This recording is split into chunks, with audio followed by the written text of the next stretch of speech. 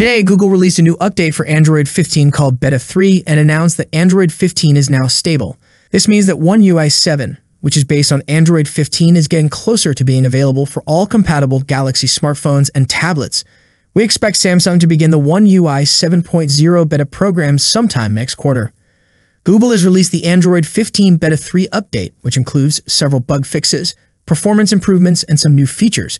When a new version of Android reaches platform stability, it means the core system behavior is finalized. This allows companies like Samsung to speed up their development of major software updates. So it's likely that Samsung will now speed up the development of One UI 7.0. Based on the company's track record, we can expect the One UI 7.0 beta program to start in the third quarter of this year, with the stable release of One UI 7.0 happening in the fourth quarter. If you have an eligible high-end Galaxy S, Galaxy Tab, or Galaxy Z series device, you will be among the first to get the One UI 7.0 update. After that, the update will be released to mid-range Galaxy phones and tablets, followed by entry-level smartphones and tablets. Galaxy S24, S24 Plus, and Galaxy S24 Ultra.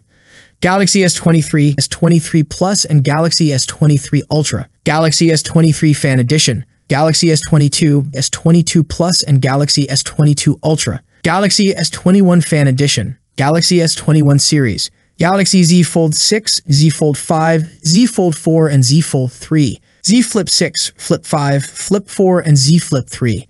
Galaxy A73 and A72, Galaxy A55, A54, and A53, Galaxy A35, A34, and A33, Galaxy A25, A24, and A23, Galaxy A15 and A14, LTE plus 5G, Galaxy Tab S9 Fan Edition Plus and Tab S9 Fan Edition, Galaxy Tab S9, Tab S9 Plus, and Tab S9 Ultra, Galaxy Tab S8, Tab S8 Plus, and Tab S8 Ultra, Galaxy F55 and F54, Galaxy F34, Galaxy F15, Galaxy M55, M54, M53, M34, M33, and M15. We compiled the list based on several factors.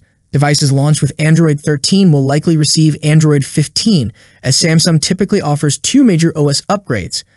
Flagships and mid-range phones eligible for four years of updates will also get Android 15, given Samsung's policy. Additionally, devices launching in 2024 are expected to come with Android 15. However, the list is not final and won't be until at least August or September. We'll update it as more information becomes available. I hope you liked the video. If you enjoyed the video, subscribing to the channel would be greatly appreciated. That's it for today. What's your thoughts on this? Let me know in the comments section. As always, see you in the next video. Peace out.